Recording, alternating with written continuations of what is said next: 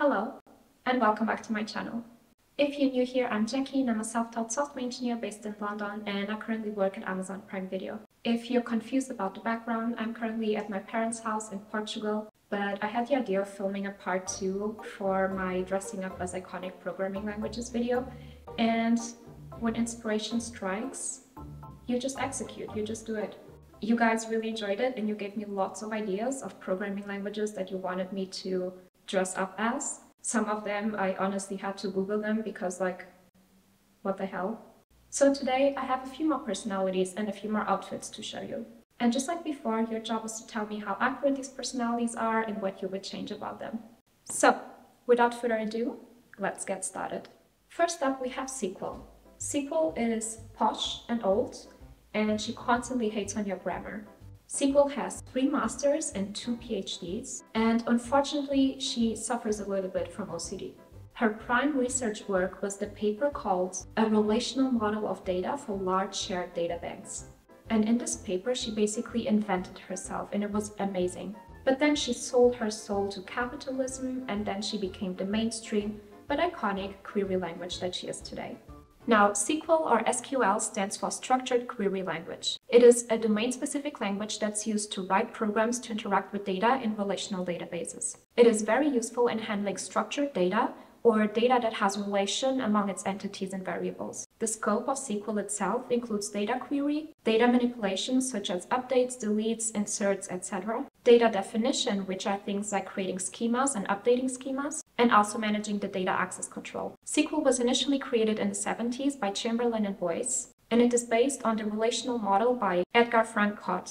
SQL was created at IBM and it was originally intended to interact with the database management system which they had at the time, which was called System R.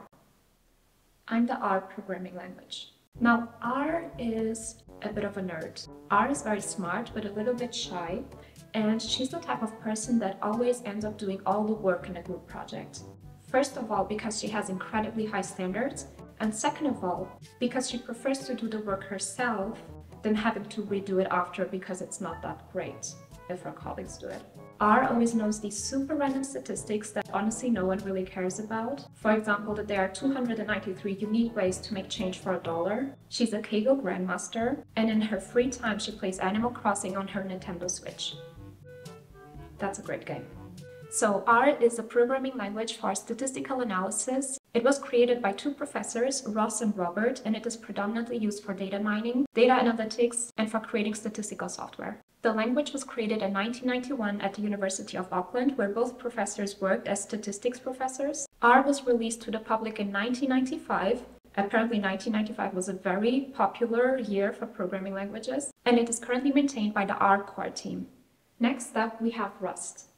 Now Rust is that really cool, smart guy that always saves the day. He is an engineer and he's also a startup founder who managed to get investment and support from the big tech companies. Rust is becoming extremely successful and he has amazing memory. He never forgets anything and he always knows where all of his possessions are. His life motto is take ownership and he developed a morning routine that sets him up for success. And he calls his morning routine the borrow checker routine. However, Rust is very opinionated and he's kind of hard to please. But once you learn how to deal with him, he's an amazing friend, an amazing mentor, and he will never let you down.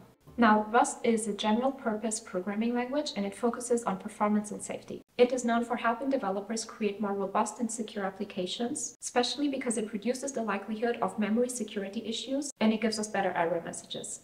Rust is used to write operating systems and microcontroller apps, but it also finds applications in databases, web applications, and others. Rust was created by an engineer called Graydon at Mozilla in 2006, but it had its first stable release in 2015 and it has been adopted by many big companies ever since. And next up, we have Swift. On the surface, Swift seems to be the mean, popular it girl, but she's actually very smart and misunderstood and all she wants is to be loved and accepted by the world.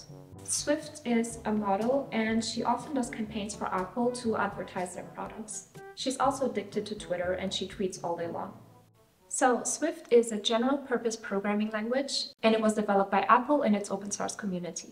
It was first created in 2014 as a replacement of Objective-C, even though it supports and it interoperates with existing Objective-C code. It is mainly used for building applications for iOS, Mac, Apple TV, and the Apple Watch. However, it was designed as a multi-purpose programming language, so its application is not just limited to building apps for Apple products. Swift can also run on Linux and on Windows OS.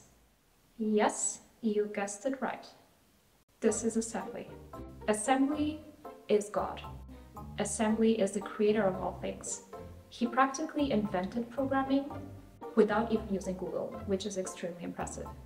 Assembly is very, very old, very wise, and very capable. However, Assembly is only comfortable working in his own house. If you ask him to work in a different type of house, he won't. He would have a midlife crisis and would need to reinvent himself in order to do that. Assembly is a bit of a difficult person to work with because he's always telling everyone to go to places, if you know what I mean. Assembly always wants to do it all himself, no matter how long it takes or how difficult it is. He will find a way. If you ask him to help you with your algorithms homework, he will start by explaining the Big Bang Theory and he will end at the laws of logarithms when all you really wanted was some help in reversing a linked list. I have some cotton in my mouth. Please like and subscribe for the beard. I also have it in my nose. So assembly is a low-level programming language that is converted into executable machine code through an assembler. And because assembly depends on the machine code instructions, it is coupled to specific computer architectures. So high-level programming languages are usually computer architecture agnostic, meaning that they don't depend on an architecture, but that's because they have a compiler or an interpreter that translates the source code into low-level code before it gets executed. So for assembly, we save on the compiling step and we assemble all of the various parts of the program into a one single program and then we execute that on the machine. Assembly was invented by Kathleen Booth in 1947 at the University of London and she was a British mathematician and computer scientist. This will be fun to take off. So this is all I have for you for this video. If you enjoyed it, please leave it a like and subscribe and let me know in the comments how accurate you think these personalities are. Also, as a side note, this video is just for fun. All programming languages have their own purpose and they're all useful for something and I don't mean to offend any of them. So yeah, this is everything and I will see you in my next video. Bye!